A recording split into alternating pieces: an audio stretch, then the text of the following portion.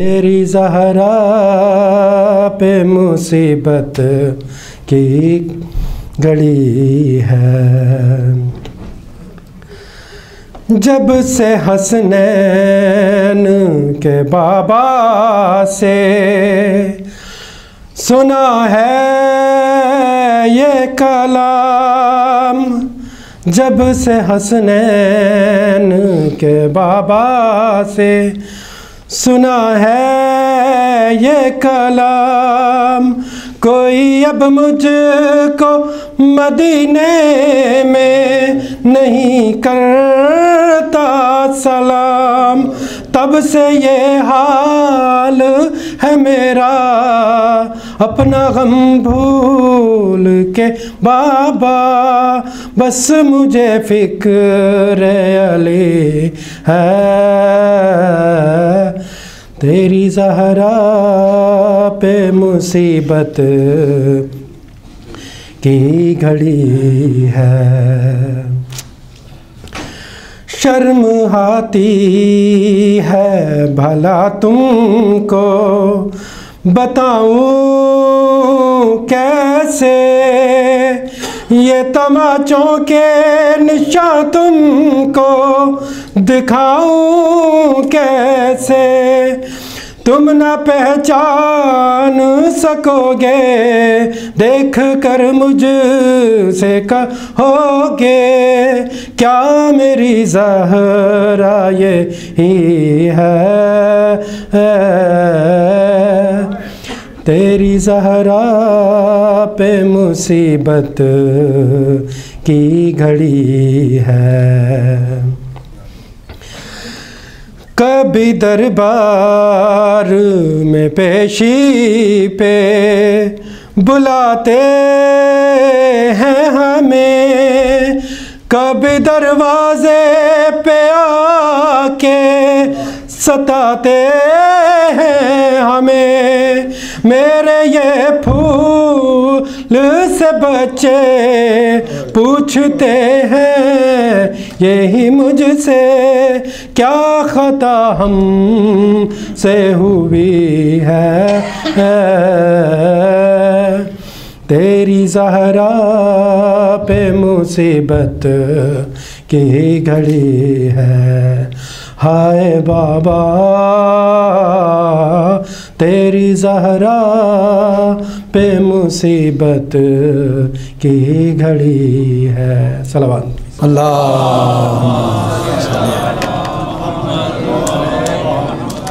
एक ताज़ा कलाम के चंद अशार पेश करता हूँ कि पूछा जब शब्बीर ने, बेटा बता कैसी है मौत? पूछा जब शब्बीर ने, बेटा बता कैसी है मौत? ये कहा, कासिम ने चच्चा शहद से मीठी है मौत। और करबला की खाक से पूछो तो ये बतलाएगी करबला की खाक से पूछो तो ये बतलाएगी, नौजवान कासिम के लाशे पर बहुत रोई है मौत। और ये सरे मक्तल खुला करबो बला के दश्त में, ये सरे मक्तल खुला करबो बला के दश्त में, ज़िंदगी दीन खुदा को बांटने आई है मौत।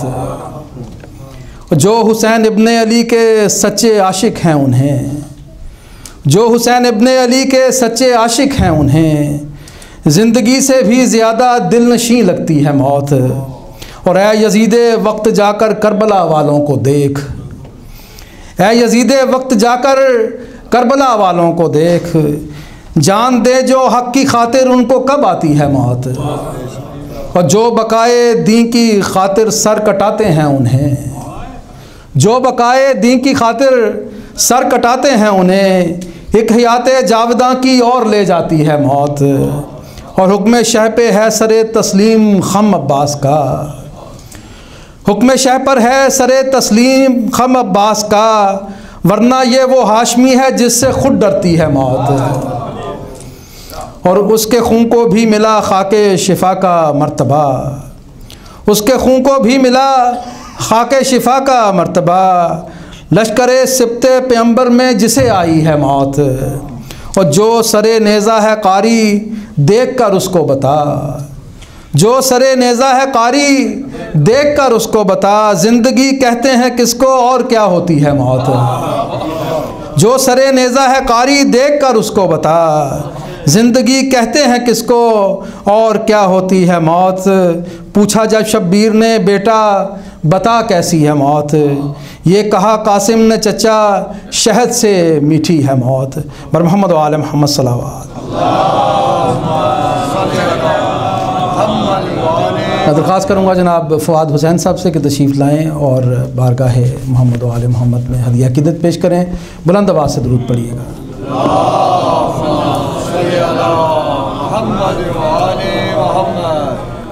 कसम है, खुदा दी, तू तारीख पढ़ गए। कसम है, खुदा दी, तू तारीख पढ़ गए। है जहरा सकीना दहे को नसीबे। कसम है, खुदा दी, तू तारीख पढ़ गए। कसम है, खुदा दी। कसम है, खुदा दी, तू तारीख पढ़ गया है जहरा। सकीना दहे को नसीबे, जीवे प्यो दी नगरी च जहरा। लुटी गई जीवे प्यो दी नगरी। जहरा लुटी गई, इवें प्यो दिशाई जिए थई गरीबे। कसम है खुदा दी, तू तारीख पढ़ गिन, है जहरा सकीना दहे को नसीबे। फिदक कान जहरा या पसली या टुटिया दुरा की ते जख्मी सकीना दे कन थे। फिदक कान जहरा या पसली या टुटिया दुरा की ते जख्मी सकीना दे कन थे। न जहरा दे जख्मा द कोई इलाजे न जहरा दे जख्मा। द कोई इलाजे सकीना भी मर गई न कोई तबीबे। कसम है खुदा दी, तू तारीख पड़ गया है जहरा। सकीना दहे को नसीबे फिदक कान जहरा द पसली या टुटिया दुरा की ते जख्मी सकीना दे कन थे। फिदक कान जहरा या पसली या टुटिया दुरा की ते जख्मी सकीना दे कन थे। न दे जख्मा द कोई इलाजे न जहरा दे जख्मा। द कोई इलाजे सकीना भी मर गई, न कोई तबीबे। कसम है खुदा दी, तू तारीख पढ़ गया है जहरा। सकीना दहे को नसीबे। हद है सबर दी जो जहरा पैरों दी। अली मौला जींद मगर चुप ही चुप है। ए हद है सबर दी, जो जहरा पैरों दी। अली मौला जींद मगर चुप ही चुप है। सकीना भी प्यासी, रही पानी मंगदी। सकीना भी प्यासी रही पानी मंगदी, ते खामोश कर बल दगाजी गरीबे कसम है खुदा दी। तू तारीख पढ़ गिन जहरा सकीना दहे को नसीबे। ए हद है सबर दी जो जहरा पैरों दी, अली मौला जींद, मगर चुप ही चुप है। ए हद है सबर दी, जो जहरा पैरों दी, अली मौला जींद मगर चुप ही चुप है। सकीना भी प्यासी, रही पानी मंग दी। सकीना भी प्यासी, रही पानी मंग दी। ते खामोश कर बल गाजी, गरीबे कसम है खुदा दी। तू तारीख पढ़ गया है जहरा सकीना दहे को नसीबे। थे जख्मी गल सही अदाता हिरा दे इवें रत सकीना दे गल तो रवाए।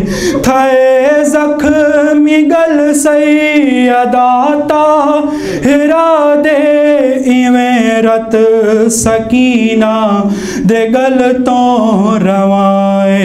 जड़ी प्यो दे मिंबर अगू फातिमाए। जड़ी प्यो दे मिंबर अगू फातिमाए जणी बज दे उठ तो सकीना यतीमे। कसम है खुदा दी, तू तारीख पढ़ गया है जहरा सकीना दहे को नसीबे। और मोहम्मद वाले मोहम्मद सराबाद इसके साथ ही बड़े अदब बड़े एहतराम से मुलतमस हूँ हज़रत इस्लाम किबला मौलाना फ़िरोज़ अब्बास साहब की खिदमत में आएँ और आज की इस मजलस में मोमिन से खिताब फरमाएँ।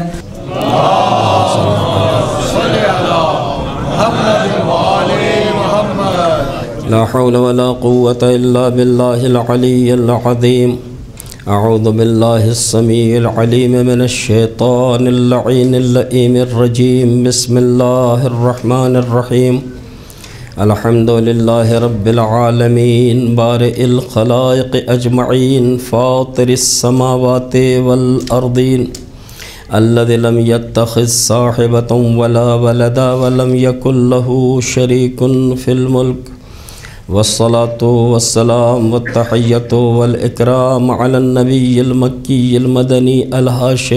मुत्तलबी अल अब्तही अल क़रशी अत्तहामी सैदना व नबीना व शफ़ी ज़ुनूबना व तबीब नफूसना अबिल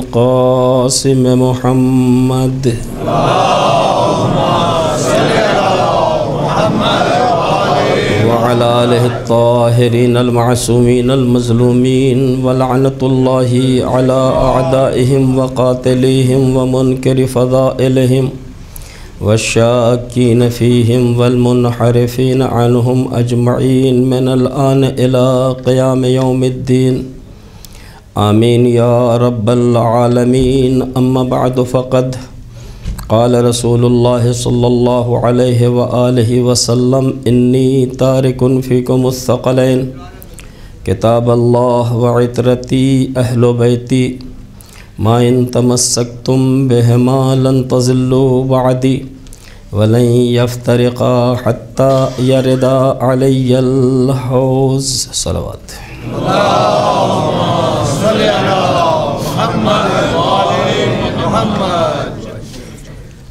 मजालिस अज़ाए सरकार सैदुलशहदा हम सब की ज़िंदगी को संवारने का एक बेहतरीन ज़रिया और वसीला है।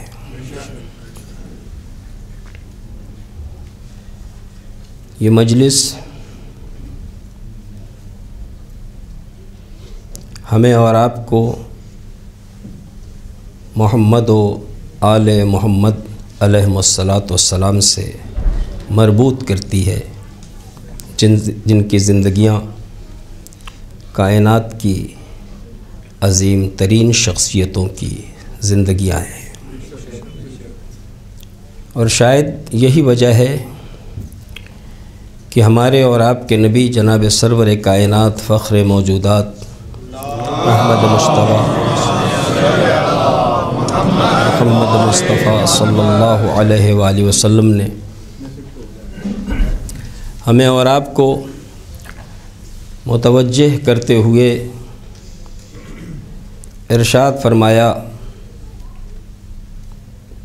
ज़ैनु मजालसकुम बज़िक्र अली इब्न अबी तालिब। अपनी मजलिसों को तज़किर अमीरुलमोमिनीन अली इब्न अबी तालिब से जीनत दो। क्या बात है? फ़िन फ़िन ज़िक्र हो ज़िक्री इसलिए कि उनका ज़िक्र मेरा ज़िक्र है। व ज़िक्री ज़िक्रुल्लाह और मेरा ज़िक्र अल्लाह का ज़िक्र है। व ज़िक्रुल्लाह व ज़िक्रुल्लाह इबादा और अल्लाह का ज़िक्र इबादत है। कभी पैगंबर ने हमसे और आपसे कहा अन नज़र अला वजह अलीन इबादा अमीरुलमोमिनीन के चेहरे की तरफ़ निगाह करना भी इबादत है। अजीज़ा ने गिरामी कभी आपने महसूस किया कि पैगंबर ने यह हदीस किन बुनियादों पे बयान फरमाई?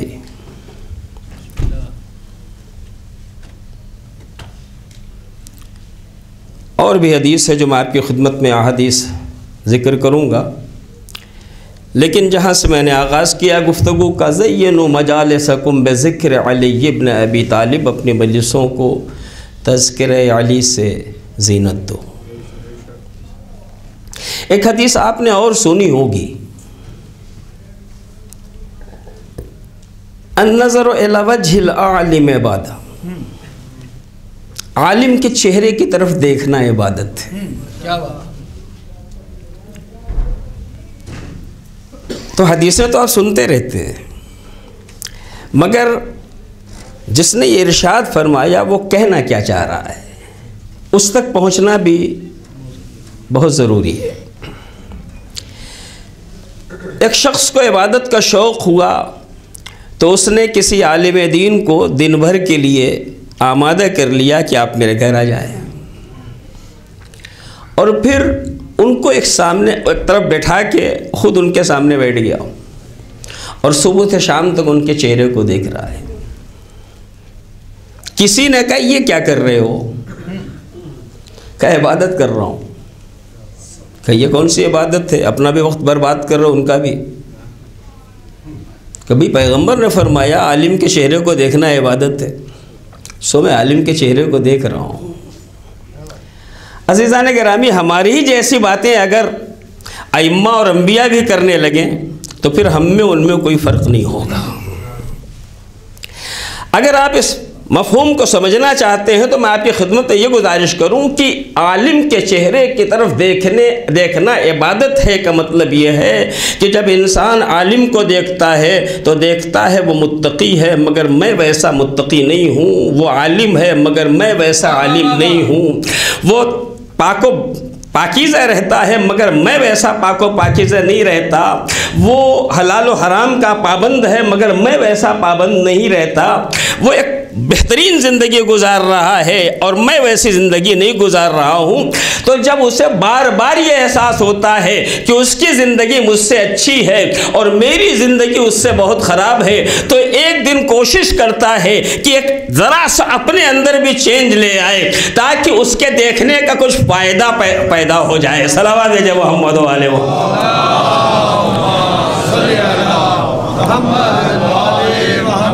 और फरमा रहे हैं ना, सिर्फ़ देखना इबादत नहीं मज़हब ऐसा कोई हुक्म नहीं दे सकता। कि बस बैठे देखते रहो और इबादत करते रहो। वक्त बर्बाद करने का मज़हब हुक्म नहीं देता। बल्कि मज़हब हमसे यह कहता है कि उसको का मतलब उसकी ज़िंदगी, उसका तर्ज, उस, उसकी इबादतें, उसकी तहारतें, उसका इल्म, उसका कमाल उसका तखवा उसकी परहेजगारी आप देखें और अपने को वैसा बनाने की कोशिश करें। ठीक है ना? अब पैगंबर फरमाते हैं जयनु मजाल सकुम बेजिक्र अली इब्न अबी तालिब। अपनी मजलिसों को तस्कर अमीरुल मोमिनीन से जीनत दूँ। इसलिए कि उनका ज़िक्र मेरा ज़िक्र है, मेरा ज़िक्र खुदा का ज़िक्र है। खुदा का ज़िक्र इबादत है। तवज्जो है नहीं जाने गिरामी तस्करा यानी याद करना। ज़िक्र यानी याद करना। कुरान कहता है फजक्र इन नमा अंत मुजक्र पैगंबर तुम लोगों को याद दिलाते रहो। इसलिए कि तुम्हें याद दिलाने वाला बनाया गया है। तो ज़िक्र का मुझे सिर्फ़ ज़िक्र से मुराद यह है कि जयनु मजाल सकुम बेजिक्र अली इब्न अबी तालिब। अपनी अपनी मजलिसों को अली की याद से जीनत दो। अली की याद से जीनत दो का मतलब क्या है कि अली की ज़िंदगी देखो उनकी नमाजें कैसी थी उनका रोजा कैसा था उनकी जंग कैसी थी उनकी सुलू कैसी थी उनकी रफ्तार कैसी थी उनके गुफ्तार कैसी थी उनकी शजात कैसी थी उनकी तहारत कैसी थी उनकी हैबत कैसी थी उनकी इसमत कैसी थी। उनका दुश्मन पे हमला करने का अंदाज उनमें सब्र कैसा था?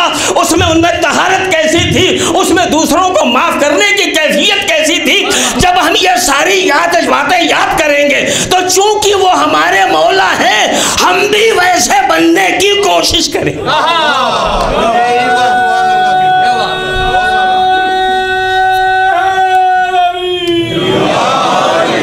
ईमान ईमान खुले कुरान, हक दा इमाम। नारे।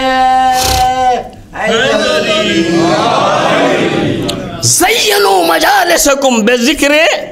अली इब्न अबी तालिब अपनी मजलिसों को तस्कर अमीरुल से जीनत दो। इसलिए कि उनका ज़िक्र खुदा का ज़िक्र है। नबी नबी मेरा मेरा ज़िक्र है। मेरा ज़िक्र खुदा का ज़िक्र है और खुदा का ज़िक्र इबादत है। अन नज़रो अला इबादत। अली के चेहरे की तरफ़ निगाह करना भी इबादत है। और जब मसला ईमान व कुफ्र का आता है, ईमान व नफाक का आता है तो पैगंबर फरमाते हैं, या अली हब्ब के ईमान व बगज़ का कुफ्र व नफाक। अली तुम्हारी ही मोहब्बत ईमान है। और तुमसे बोक्स यही कुफ्र भी है, यही नफाक भी है। तो जब मोहब्बत की बात आई तो कहब के ईमान, एक बात कही, अली, तेरी मोहब्बत ईमान है। लेकिन जब बुक्स की बात आई तो दो बातें कही। व बुग्स व नफाक। तुम्हारा बुग्स कुफ्र भी है नफाक भी है। तो मोहब्बत में एक ही बात कही गई दुश्मनी में दो बातें कही गई। शायद इसकी वजह यह हो कि कभी बुग्ज अली छिपा होता है और कभी बुग्ज अली ज़ाहिर होता है। अगर बुग्ज अली छिपा हो तो वो मुनाफिक है। और अगर ज़ाहिर हो जाए तो वो काफिर है। सलावत जब मोहम्मद वाले मोहम्मद।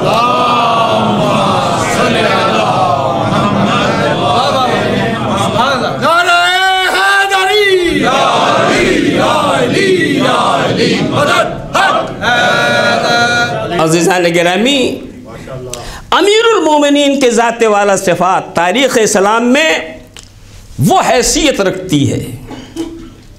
हमसे दुनिया पूछती है, अली ने किया क्या? और अली ही ने नहीं, इब्न तैमिया ने तो यहाँ तक लिखा कि अहले बैत ने दीन के लिए किया क्या? अल्लाजुबिल्ला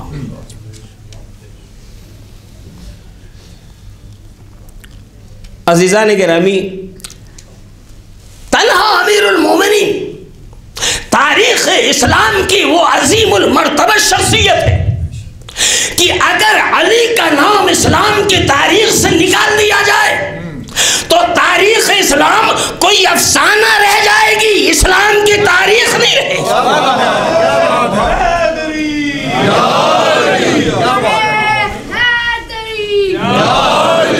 जहाँ से पलती है इकबाल रूह कंबर की जहाँ से पलती है इकबाल रूह कंबर की। मुझे भी मिलती है रोजी उसी खजीने से। हमेशा हमेशा विरदे जबाए अली का नाम इकबाल। प्यास रूह की बुझती है इस नगीने से। नारा हैदरी शम्स दुहा शम्स दुहा बदरुद्दुजा सदरुल उला नूरुल हुदा काफल वरा नारे हैदरी। या अली अंत मिन्नी बेमंजिलत हारूना में मूसा अय अली तुम मेरे लिए बिल्कुल वैसे हो जैसे मूसा के लिए हारून थे या अली अंत मिन्नी बेमंजिलत रास मिनल जसद क्या बात है अय अली, तुम्हारी नस्बत मुझसे वैसी है जो जिस्म पर सर की होती है। और फरमा रहे हैं? अगर किसी का सर कलम कर दिया जाए और जिस्म छोड़ दिया जाए तो क्या ये जिस्म पहचान लिया जाएगा किसका है? नहीं पहचाना जाएगा। पैगंबर फरमाते हैं, तुम्हारी मिसाल वैसे है, जैसे जिस्म पे सर की। यानी मुसलमानों को बताया जा रहा है, जब भी नबी को पहचानने की कोशिश करना तो अली के साथ अगर अली को हटा दोगे तो पहचाने भी नहीं जाएँगे कि ये नबी।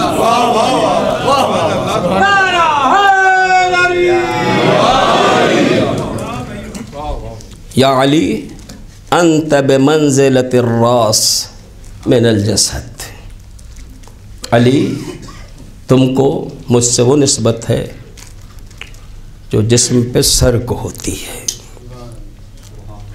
इस्लाम की तारीख़ का कौन सा वाक़या है जिसमें जनाब अमीरुलमोमिनीन आगे आगे नज़र नहीं आ रहे इब्तदा से इंतहा तक आगाज़ से अंजाम तक। जब दीन इस्लाम का आगाज़ करना होता है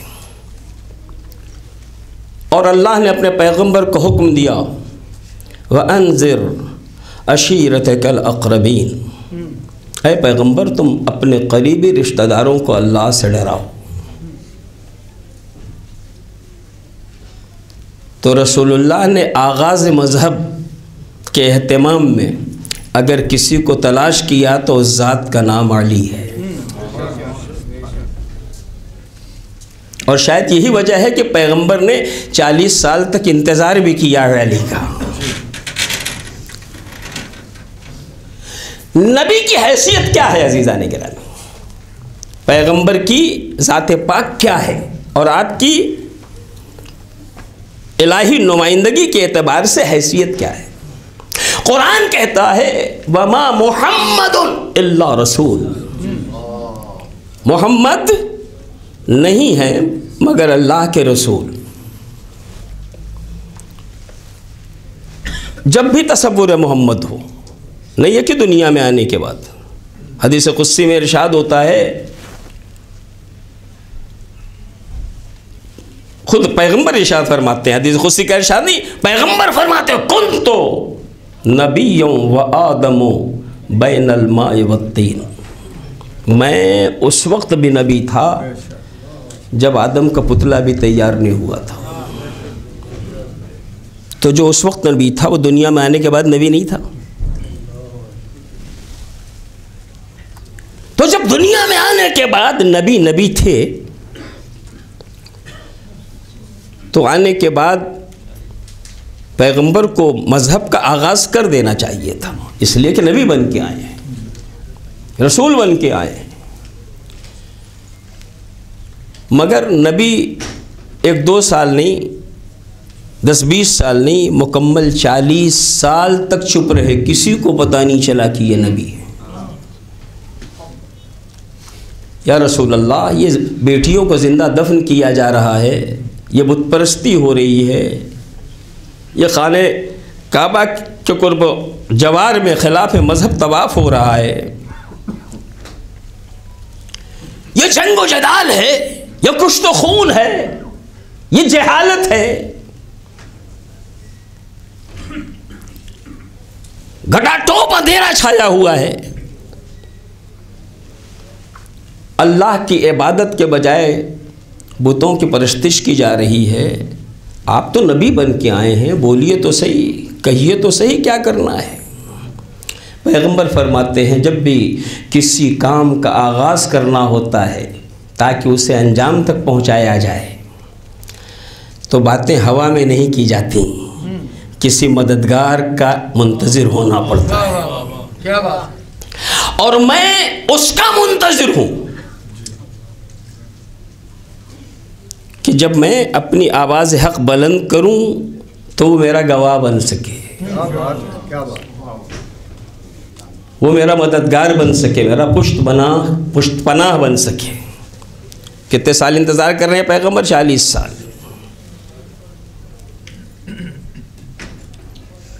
एक दिन आया जब फातिमा बिनते असद खान काबा की तरफ़ जा रही हैं।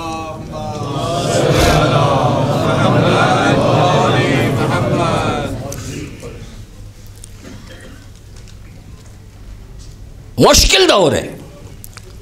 और उस मुश्किल को आसान बनाने के लिए, उस मुश्किल में आसानियाँ फराहम करने के लिए खान काबा के दीवानों के करीब पहुँची। कौन? फातिमा बिन असद दीवार काबा से में अथर को मस किया। अय इब्राहिम इस्माइल के परवरदगार मेरी मेरी इस मुश्किल को आसान कर दे। कि अचानक दीवार में दर पैदा हो रहा उदखली या फातिमा फातिमा अंदर दाखिल हो जाओ और इत्मीनान से अंदर दाखिल हो जाती है।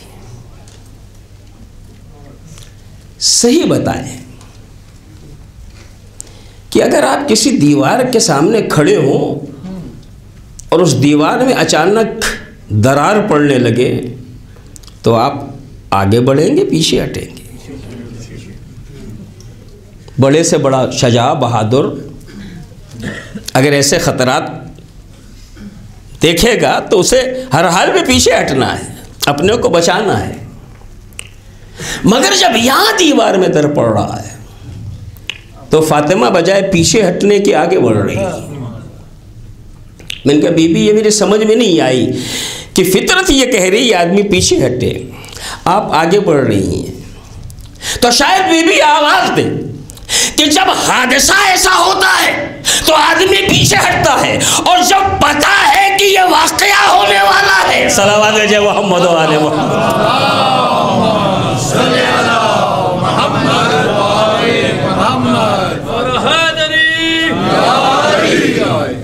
तो उसमें पीछे हटने की कोई ज़रूरत नहीं। और फिर दूसरी बात मेरे शिकम में वो बच्चा है जिसे कर्रार गैर फर्रार कहा जाता है। पूरी ज़िंदगी गुजरेगी मगर कभी ये बच्चा पुष्ट नहीं दिखाएगा। तो मैं भी तो उसी की माँ हूँ। सो जनाब फाता बेनता अंदर जाती हैं। ये सब हो रहा है नबी। खामोश हैं, मुंतज़िर हैं। और चालीस साल तक मुंतज़िर रहे ताकि कोई हिमायती आए।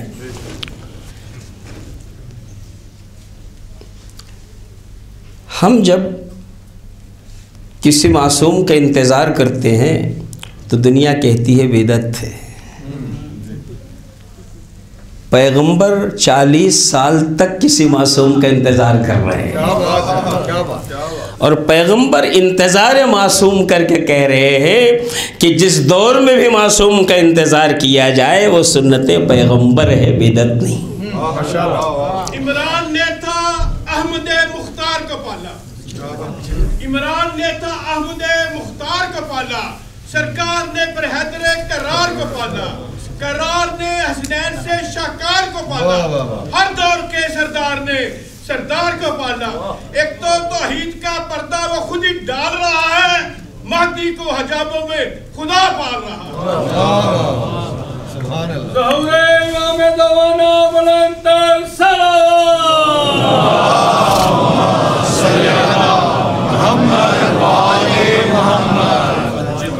मुझे कोई तफसील नहीं पढ़नी है। मैंने पीछे से बात शुरू की है, उधर ही जाना है।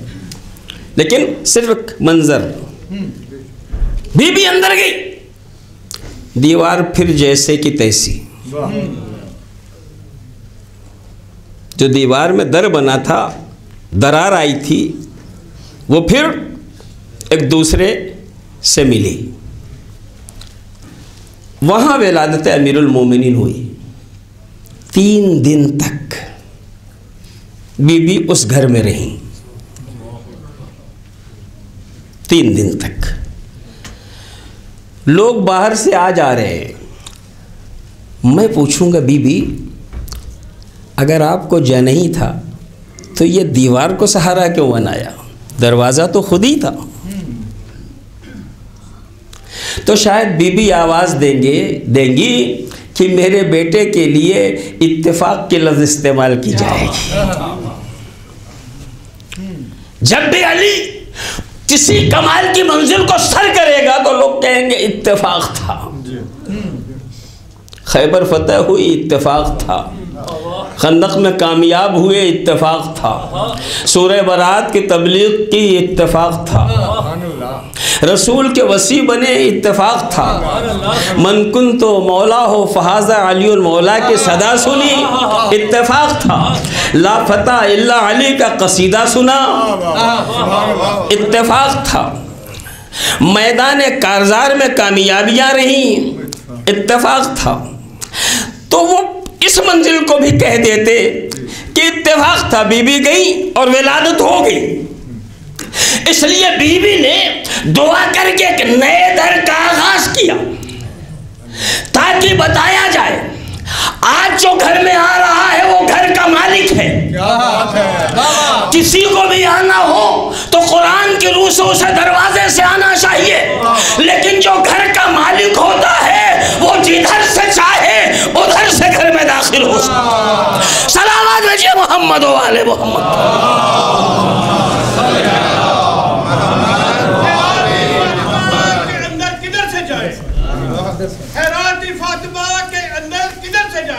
दीवार कह रही थी कि बीबी इधर से आए।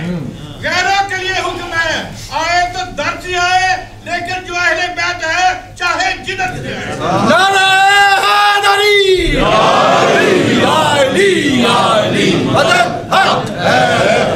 बीबी गई। तीन दिन वहाँ कयाम रहा। लोग कहते हैं क्या खाया? क्या पिया? ये तुम्हें क्यों फ़िक्र है। भाई मेहमान जिसके घर जाता है, फ़िक्र उसे होनी चाहिए। आपको कौन सी फ़िक्र है? तो जिसके घर गई है, उसने अगर थोड़ी देर के लिए मूसा को माँ से अलग किया था तो जनाब मूसा के अंगूठे से दूध जारी करके उनके खाने पीने का इंतज़ाम कर दिया था। जो मूसा के लिए इतना इंतज़ाम कर सकता है, वो फख्र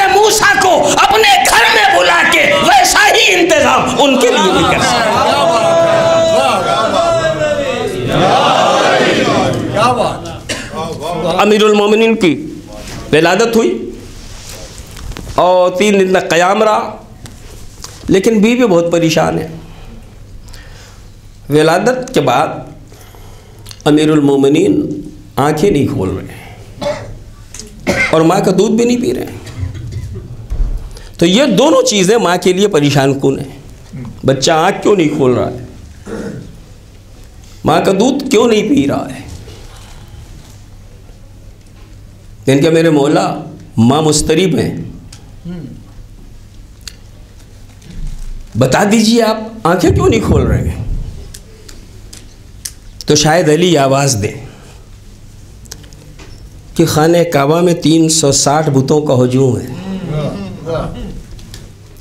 आँखें खोलूँगा तो मुतासिब मुर्रिख लिखेगा कि अली ने पैदा होते ही बुतों की जियारत की।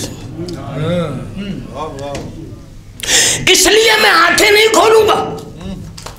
ताकि मुतासिब मुवर्रिक की समझ में भी फ़र्क आ जाए। जब बुतों के सामने सर झुकाने वालों का नाम आए तो लिखा जाए, रज़ अल्लाह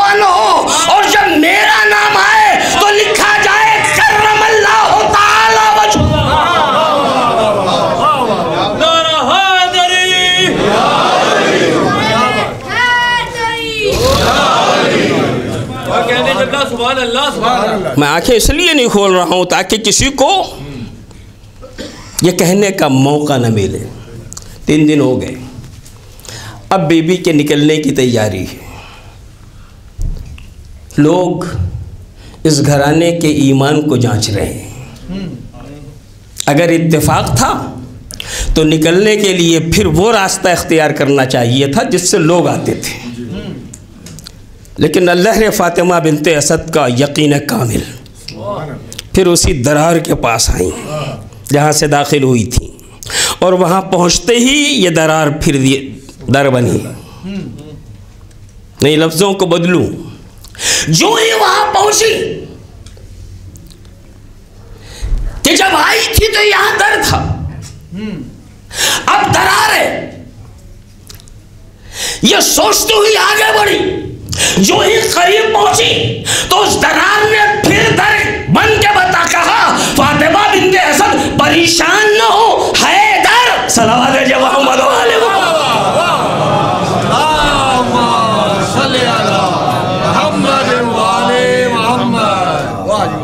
ये दरार नहीं, अब भी धरी है।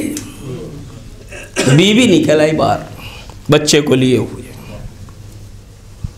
अल्लाह का जो प्रोग्राम था, मुकम्मल हो गया। लेकिन वो दरार आज भी बाकी रह गई। जो अमीरुल मोमिनीन के विलादत के वक्त खाने काबा पे वो दरार पड़ी थी, वो आज भी बाकी है। जो लोग हज के लिए जाते हैं, वो अगर रुकन यमानी की तरफ़ जाएँ तो उन्हें बहुत दूर से नज़र आ जाएगा कि यहाँ कभी कोई हादसा हुआ है। जब से ये दरार पड़ी, न मालूम कितने दिलों में दरार पड़ गई।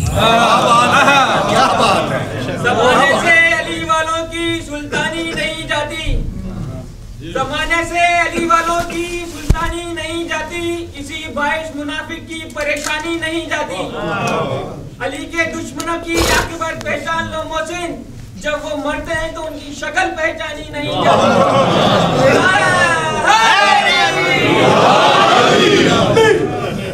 तो जब से वो दरार पड़ी बहुत से दिलों में भी दरार पड़ी और आज तक वो बाकी है। जहाँ जहाँ दरारें थीं उन्हें जब जब मौका मिला जैसे जैसे मौका मिला उस दरार को भरने की कोशिश की। उस दरार को भरने की कोशिश की।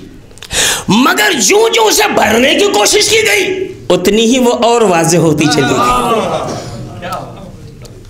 जितनी उसे भरने की कोशिश की गई उतनी ही वो और वाजे हो गई। ए मेरे महबूद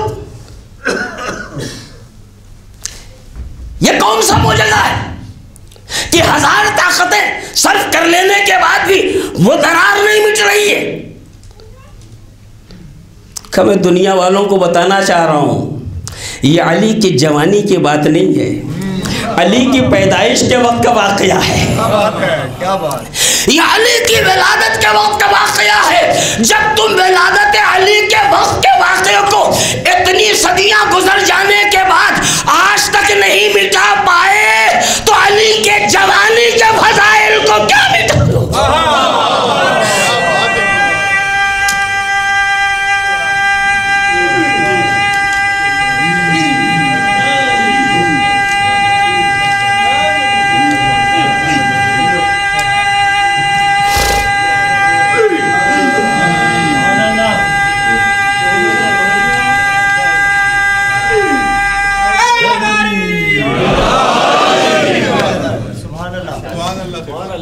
फातिमा बिन तैसद अमीरुल मोमिनीन को लेके निकली। और इधर हुजूर इस्तकबाल के लिए चले। उसका इस्तकबाल जिसका इंतज़ार हो रहा था। जो ही बीबी के पास पहुँचे। आगोश मोहब्बत को वाकिया। बीबी ने अमीरुल मोमिनीन को नबी के हवाले किया। अभी कहना चाह रही हैं कि ये बच्चा आँखें नहीं खोल रहा है, इसने दूध भी नहीं पिया है। इतने में देखा कि जो ही क़ुरान इमामत रहल रसालत पे पहुँचा। और बूए रसालत मशा में इमामत में आई। अचानक आँखें खुली।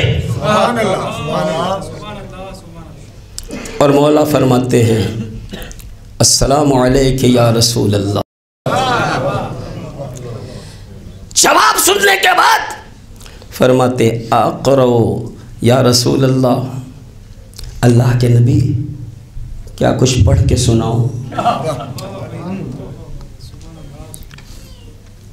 और मौला ने नबी ने फरमाया, पढ़ो ओलमा लिखते हैं कि अली ने नबी के हाथों पे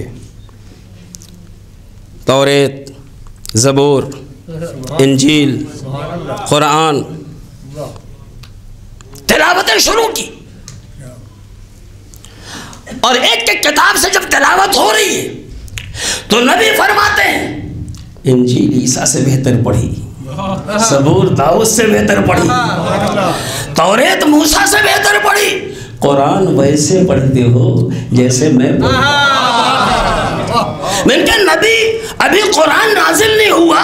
ये आप कैसे कह रहे वैसे पढ़ते हो जैसे मैं पढ़ता हूँ। का नजूल की ज़रूरत तुम्हारे लिए है। हम अहले बैत के हाजत नहीं है वजह मोहम्मद वाले मोहम्मद।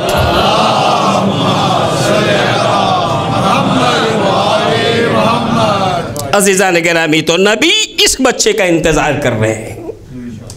यही बच्चा जब नौ, दस या तेरह साल का हुआ। तब नबी ने वो पहली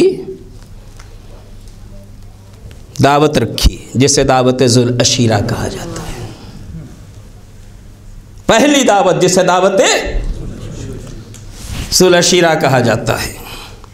और इन्हीं अमीरुल मोमिनीन से कहा गया अली कुरैश के कुछ लोगों को दावत दे दो और उनके खाने पीने का अहतमाम करो। पहली दावत इस्लाम का जो इंतज़ाम हुआ है वो जनाब अमीरुल मोमिनीन के ज़रिए। और जब ये दावत दी गई लोगों से कहा गया, मैं अल्लाह का नबी हूँ। इतनी आसानी से कहा भी नहीं कि जितनी आसानी से मैं कह रहा हूँ। लोग उठ उठ के भाग रहे थे। लेकिन बहरहाल वो वक्त आया जब नबी को कहने का मौका मिला और नबी ने बताया कि मैं अल्लाह का रसूल हूँ।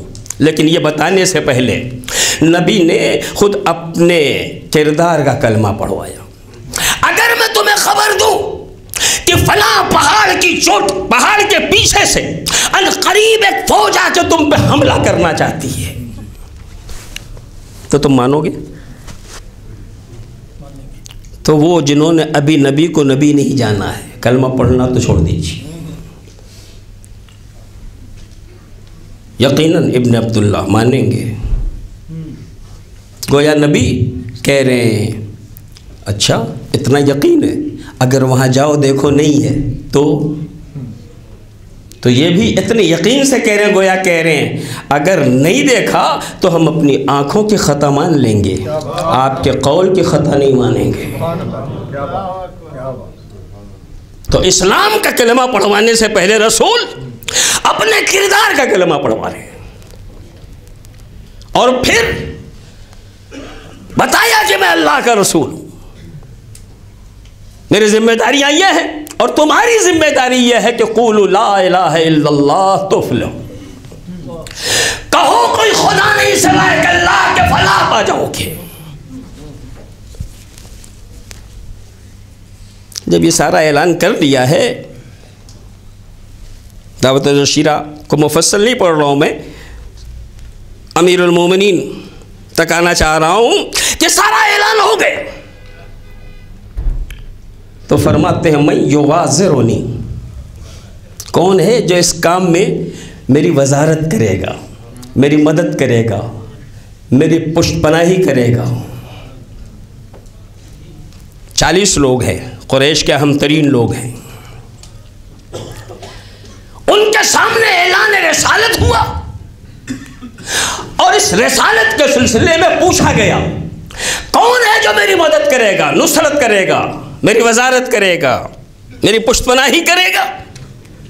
तारीख कहती है कन कला से है मुतैर ऐसे चुपचाप बैठे थे, जैसे सरों पे परिंदे बैठे हो। हिलेंगे, उड़ जाएँगे।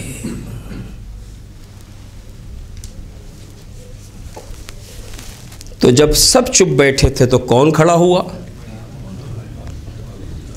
यही बच्चा जिसका रसूल इंतज़ार कर रहे थे।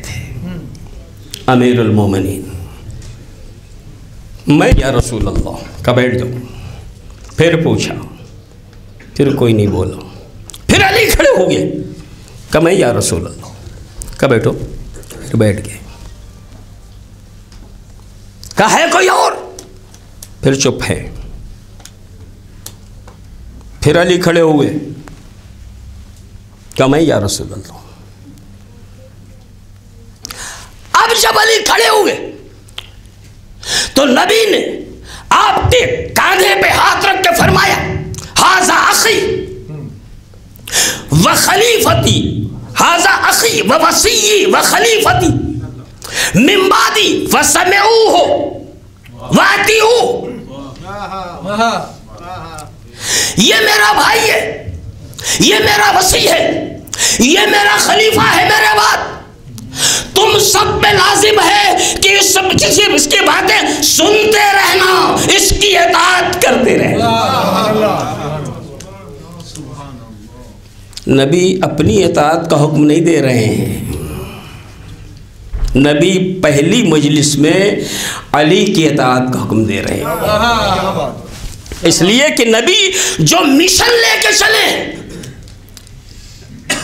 उसकी हद खाली मोहम्मद रसूलुल्लाह नहीं है। उसका इख्तिताम अली पे होने वाला है। इसीलिए नबी ने अपनी मोहब्बत को ईमान नहीं बनाया है। अली की मोहब्बत को ईमान का मैार खराब। सलामत भेजिए मोहम्मद वाले मोहम्मद।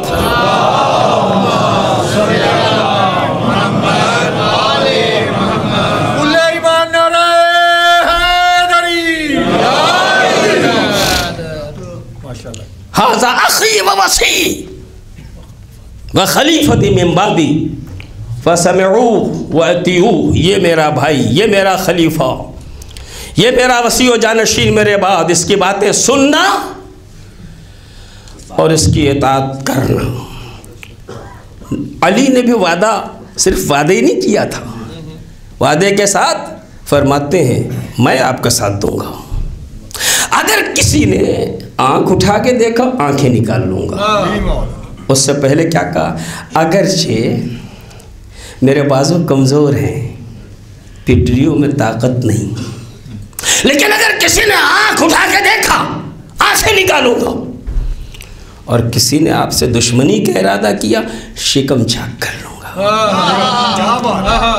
मैं कहूँगा अली जब आप कह रहे हैं बाजुओं में कुत नहीं पिटड़ियाँ कमज़ोर हैं तो जब इतनी कमज़ोरी है तो ये क्या फरमा रहे हैं? आँखें निकाल लूँगा शिकम चाक कर लूँगा तो शायद अली आवाज़ दे मैं किसी और की मदद नहीं करने जा रहा हूँ। अल्लाह के रसूल की मदद करने जा रहा हूँ। और जो रसूल हक की मदद पे आ जाए वो कितना ही कमज़ोर है। अल्लाह उसे ताकत अदा फरमाता है ताकि दुश्मन के मुकाबले में क्या बात अजीज़ा ने गिरामी ये वो पहली मंजिल थी, जहाँ अमीरमिन की खिलाफत, वसायत, विलायत, अखुवत का ऐलान पैगंबर आज़म ने किया। और उसके बाद मुसलसल ये सिलसिला बाकी रहा। इब्तदा में जब नबी मज़हब की तबलीग के लिए निकलते तो नबी को सताया जाता था। और ज़्यादातर बच्चों को लगा दिया जाता था कि नबी बड़े, बच्चे शरारत करेंगे। अगर पैगंबर कोई जवाब देंगे तो हम पूछ लेंगे कि अरे भाई ये तो बच्चे थे, आप तो बड़े थे। अच्छा ये बच्चे और बड़े का भी बड़ा मामला है। अभी मैंने कहा था ना, इत्तेफाक। अमीरुल मोमिनीन ने जो वादा कर लिया तो वहाँ भी बात निकल आई। अरे हाँ किया तो था अली ने वादा। मगर अली बच्चे थे। यानी उनके वादे की कोई अलयाजुबिल्ला किया तो था। मगर अली बच्चे थे। और बच्चों की बातों का क्या एतबार। अरे मुसलमानों अली बच्चे थे। रसूलुल्लाह तो बच्चे नहीं थे जिन्होंने एतबार कर लिया सलावत है मोहम्मद वाले मोहम्मद।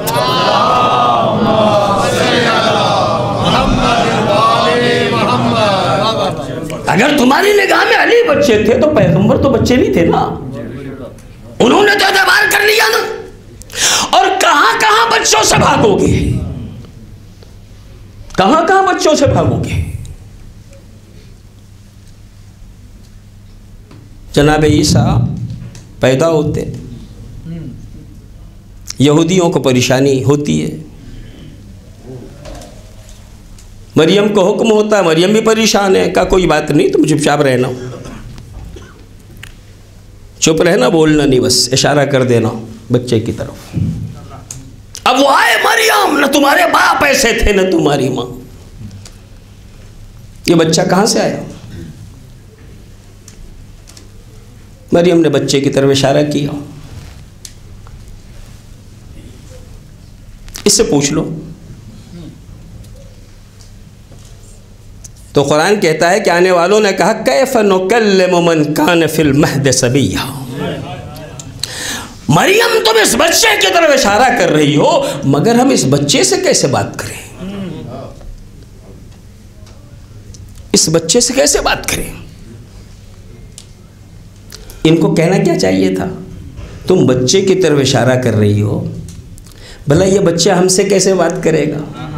कहना तो ये चाहिए था ना कि तुम बच्चे की तरफ़ इशारा कर रही हो। ये भला ये बच्चा हमसे कैसे बात करेगा? तो उन्होंने क्या कहा?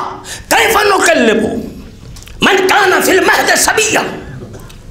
हम उससे कैसे बात करें, जो गहवारे का बच्चा है? अरे मैंने कहा, यहूदियों, तुम्हें बच्चे की परेशानी को देखना चाहिए। तुम तो बोल सकते हो। कहा?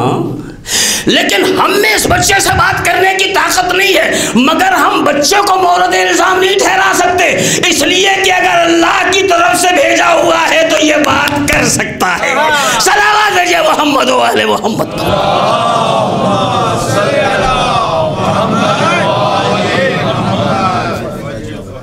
अजीज़ा ने गिरामी तो मरियम की पाकदामनी की गवाही। यूसुफ की पाकदामनी की गवाही कौन दे रहा है? बच्चा दे रहा है। ये तारीख़ की बात नहीं है, कुरान की बात है। मुसलमानों, अगर तुम्हें दावत दावतुलशिरा में इस बच्चे की बात कबूल नहीं है तो कुरान में जिन बच्चों बच्चों का ज़िक्र हो रहा है, उनके बारे में तुम्हारा क्या ख्याल है? बस अजीज़ा निगरामी ये खानवादा वो खानवादा था, जिसने इब्तदा से इंतहा तक। मज़हब इस्लाम की खिदमत में तन, मन, धन की बाजी लगाई। ये पूरा सिलसिला है सुबह क़यामत तक। जो इस्लाम का निगहबान और इस्लाम का मुहाफ़ है। और दीन के लिए क़ुरबानियाँ देना इनके लिए फ़ख्र है। और यही वजह है कि जब इस्लाम पे आफत आती है और इस्लाम दर दर की ठोकरें खा रहा है तो हुसैन ने सहारा दिया। घबरा नहीं मैं करबला आ रहा हूँ। और मैं तेरी ज़िंदगी के लिए वसाइल मुहैया करूँगा। और हुसैन कैसे कैसे बच्चों को लेके आए हैं, राह करबला में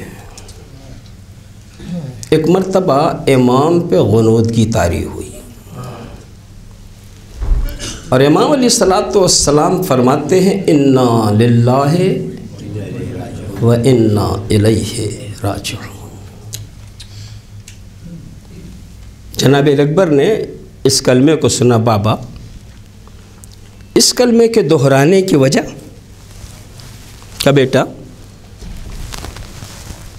अभी मैंने अपने जद रसूल खुदा को देखा है। तो कह रहे यह काफ़िला अपने पैरों से अपनी मौत की तरफ़ जा रहा जनाब अकबर फरमाते हैं, बाबा, क्या हम हक पे नहीं? क्या बेटा, हमारा एक एक कदम हक पे जा रहा है का फिर बाबा, हमें फ़िक्र क्या हो? चाहे मौत हम पर आन पड़े, या हम मौत पे जा पड़े। ये जोश व जज्बा लिए हो यह काफिला आगे बढ़ रहा है। और जो है इस काफिले में, वो दीन के लिए उतने ही अहम जज्बात रखता है। जब सुबह आशूर नमोदार होती है तो जंग का आगाज़ एक तीर से होता है। पेसर साद ने सबसे पहला तीर ये कह के चलाया है लश्कर इमाम हुसैन की तरफ़ कि ये पहला तीर है, जो मैं फेंक रहा हूँ। मतलब था पहला इनाम मुझे मिलना चाहिए। इबन ज़ियाद से दूसरा इनाम लेने की हवस में हज़ारों तीर एक साथ चिल्ले कमान में जोड़े गए। और ये सारे तीर लश्कर इमाम की तरफ़ रवाना हुए। असहाब हुसैनी जो दीन के लिए मरने के जज्बात पूरे तरीके से रखते थे, उन्होंने आवाज़ दी, हुसैनियों, दीवार बन जाओ। अगर हमारी ज़िंदगी में हुसैन का एक बच्चा भी ज़ख्मी हुआ तो हम जहरा को मुँह दिखाने के लायक न रहेंगे आप और फरमाएँ कि चंद लोगों की दीवार, हज़ारों तीर, कितने लोग पहले हमले में ज़ख्मी हुए होंगे? सबसे ज़्यादा ज़ख्मी जो थे, उनका नाम है मुस्लिम इबन औसजा। इतने ज़ख्मी है, कशमकश मौत हयात में अजीज़ो, अहम तरीन दिन रोने के आ चुके हैं और फिर ये दिन साल भर के बाद आते हैं। अगर आँखों में आँसू लेके आए हो तो बीबी यहीं कहीं होगी। उनके रूमाल में आंसुओं का तोहफा पहुँचा दो। जो तुम्हारी नजात का ज़रिया बन सके।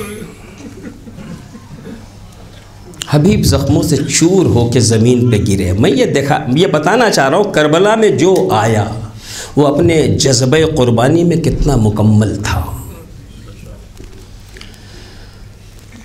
कशमकश मौत हयात में है, हबीब को पता चला। इमाम को ख़बर दी, लेके मुस्लिम के सिरहाने आए। मुस्लिम, कोई वसीयत हो तो तुम्हारे पास एक बच्चा, एक बेवा है। कहो, हम पहुँचा देंगे। नहीं, रो दिए, जनाब मुस्लिम। नहीं, बेवा और बच्चे के लिए कोई वसीयत नहीं। इमाम को देखा और फिर रोने लगे। उसी के बेहादर रजुल या हबीब। हबीब किसी और के लिए वसीयत नहीं, आका के लिए वसीयत है। मैं जल्दी जा रहा हूँ। ख्याल रखना, जब तक ज़िंदा रहो, मेरे मौला पे कोई आफत ना आने हबीब ने वादा किया, रूह कफ़ से उनसरी से परवास करके। अभी जनाजा पड़ा है। हुसैन हबीब वही खड़े हैं। इतने में देखा, एक छोटा सा बच्चा असलहों से सजा हुआ खैमे से निकला और मैदान की तरफ़ चला। हबीब इसे रोको, ये किसका बच्चा है? बढ़ के उसे रोका, कहाँ जा रहे हो? मैदान में। किसके बेटे हो? मौला, ये जिसका जनाजा पड़ा है, उसे मुस्लिम का लाडला इमाम रोने लगे। मेरे लाल, वापस चले जाओ। तो गर्दन झुकाए खड़ा है, फिर कहा, बेटा, वापस चले जाओ। फिर गर्दन झुकाए खड़ा, कहा, मेरे लाल, वापस चले जाओ। अब भी वो गर्दन झुकाए खड़ा है। अचानक कहते, मोला, किसके लिए वापस जाओ कहा, बेटा, तुम्हारी बेवा माँ को तुम्हारी ज़रूरत हो, वापस चले जाओ। बच्चा कहता है, मौला, माही ने असलह सजा के मुझे मैदान में भेजा। क्या जाओ माँ से कह देना, हुसैन ने लौटा दिया। अभी इमाम की या बात पूरी नहीं हुई थी। अचानक खेमे का पर्दा हटा। ए बेवाओं के वाली, ए यतीमों के सरपरस्त हुसैन इब्न अली, मुस्लिम ने अपने लिए कुर्बानी दी है। मौला, मेरी इस हदियों को रद्द न कीजिएगा। इसे जाने दीजिए, ताकि मेरे भी आपकी मादरे गिरामी के सामने सुरखरू होने का सामान फराहम जजाकुमुल्लाह, खुदा आपको किसी गम में सिवाय गम अहल बैत के। यहाँ से करबला की जंग का आगाज़ होता है और शहीदों की शहादत का सिलसिला शुरू होता है। आज सातवीं की शब है। सातवीं की शब। और इस शब हम एक नौजवान का ज़िक्र करते हैं, जो अभी उन फवान शबाब के मरहले में कदम रखा एक अजीम बाप का यतीम है, जिसे यतीम हसन कहा जाता है।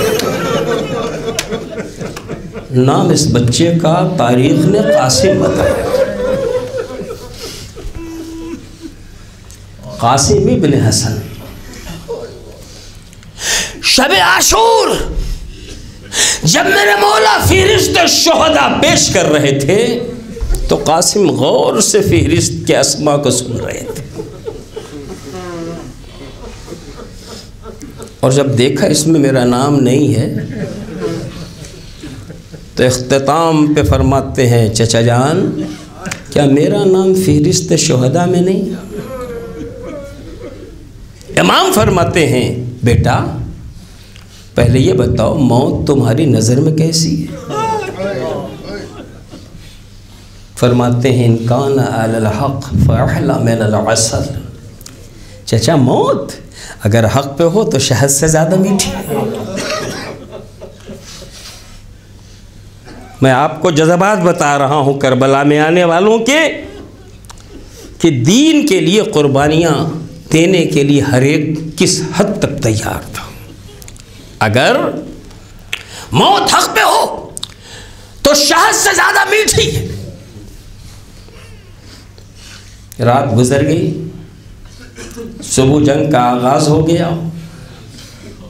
असहाब हुसैनी के बाद हुसैन के अज्जा की बारी आई। एक के बाद दूसरा जा रहा है। और इमाम का ये यतीम। जब मेरा मौला मदीने में कब्र हसन से विदा होने गया था, भैया की कब्र पे आखिरी सलाम करके कहा था, भैया, मैं अपने साथ कासिम को भी ले जा रहा हूँ। मेरे सफ़र में कासिम की ज़रूरत है, मगर भैया, अगर तेरा कासिम वापस न लौट सके तो महशर में मेरा दामन न थाम वो कासिम आशूर के दिन सुबह से बहुत मुस्तरब है। इस्तराब तो रात ही को सामने आ गया था, जब इमाम ने नाम नहीं लिया, का मेरा नाम नहीं है। मेरे नज़दीक मौत हक से ज़्यादा, शहद से ज़्यादा मीठी है। और सुबह से आमादा है कि मुझे भी जाना है मैदान में, क्योंकि चचा खबर दे चुके, तेरा नाम भी है। मगर चचा है, जो हर बार ये कह के टाल देते हैं, बेटा तो मेरे भैया की निशानी हो। कासिम, मैं तुम्हें कैसे मैदान में जाने की इजाज़त दे दूँ मेरे लाल? और कासिम वापस चले जाते हैं। फिर कुछ देर के बाद आते हैं, फिर वापस चले जाते हैं। कई बार आए गए, मगर इमाम ने इजाज़त नहीं दी। रिवायात कहती हैं। सोचते सोचते कासिम को याद आया। जब मेरे बाबा इस दुनिया से जाने लगे थे तो मेरे बाजुओं पे एक तावीज़ बांधा था। कहा था, कासिम जब कभी तुम्हारे चचा दुश्मनों के नरगे में घिर जाए तो इस तावीज़ को खोल के देख लेना। तेज़ी से तावीज़ खोला, लिखा था मेरे लाल, जब तुम्हारा चचा नरगयादा में घिरा हो, मेरी तरफ़ से अपनी कुर्बानी पेश कर देना। भाई तावीज़ देखना था कि जनाब कासिम उस तावीज़ को लिए हुए चचा के खिदमत में आए हैं। मगर उसके बाद भी इमाम खाली रो रहे हैं। इनको इजाज़त देने के लिए आमादा नहीं है। रिवायत का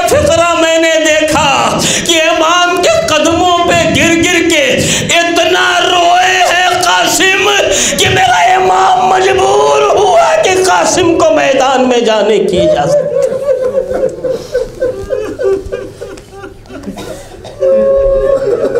बार बार आए, बार बार रोए, बार बार इजाज़त चाहिए मगर कासिम को इमाम से इजाज़त नहीं मिल रही थी। बिलाखिर कासिम कामयाब हो गए, इजाज़त मिली। इजाज़त मिली तो जानते हैं क्या हुआ? इमाम ने कुर्ते के गरीबान को वैसे चाक किया, जैसे कफन बनाया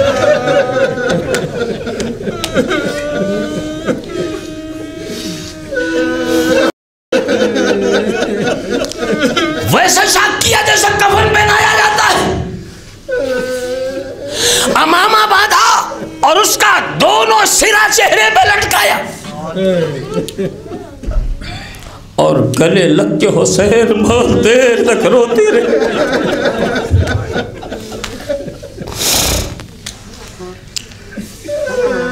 बहुत देर तक अपने भैया की निशानी को देखते रहे और रोते रहे।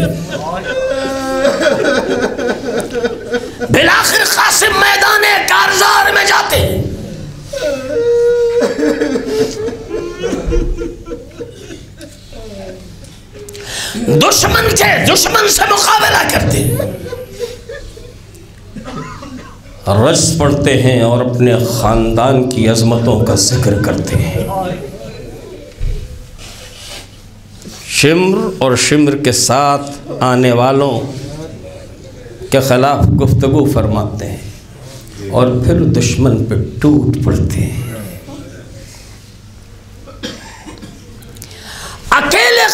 ने तीन दिन के भूख प्यास में। एक रिवायत के मुताबिक कम से कम तीस लोगों को।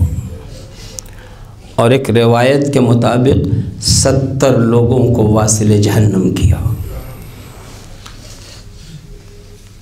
जब इस तेज़ी के साथ शमशीर जनी दुश्मन ने देखी तो उसमें उन दुश्मनों के में एक मलून था, जिसका नाम अमरिब ने साथ था। वो उमर साद नहीं अमरिब ने साथ था। जिसने अपने साथियों से कहा कि इसे मैं कत्ल करूँगा। साथियों ने कहा, हुसैन के साथ और जो लोग हैं, वो बड़े हैं, उन्हें कत्ल कर ले, ये बच्चा इसे कत्ल करके क्या करेगा? मगर वो मलून अपनी बात पे रुका रहा। और जब शेर गजबनाक की तरह हमला करते हुए कासिम आगे बढ़े तो एक मरतबा उस मलऊन ने तलवार का एक वार ऐसा किया कि यतीम हसन ज़मीन पे आ गया। ज़मीन पे आते हुए जनाब कासिम ने अपने शशा को आवाज़ दी, वाम्मा हो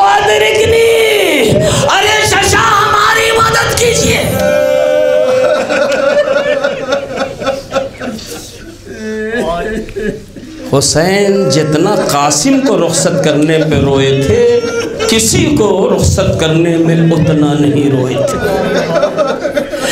फिराक कासिम में दिल बेकरार था।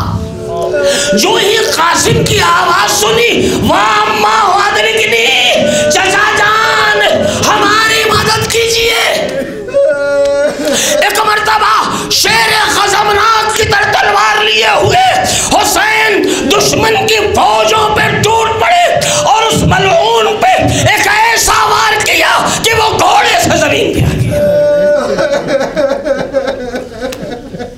शाम की फौजें उसे बचाने के लिए तेज़ी से इधर से उधर हुई।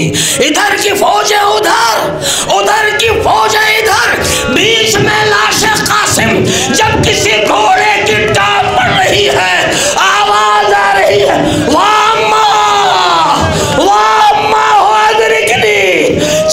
मदद मदद कीजिए। जजाकमुल्लाह लाश कासिम टुकड़े टुकड़े हो गए।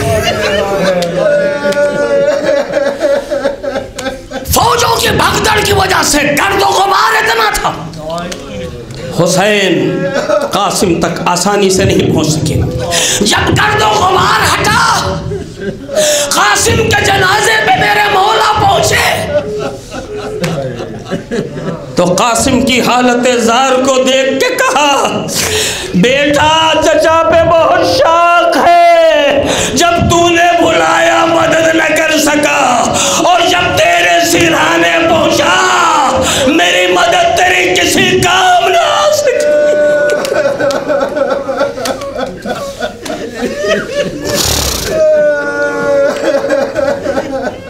जब मैं सिराने पहुँचा, मदद तेरे किसी काम ना आ सकी।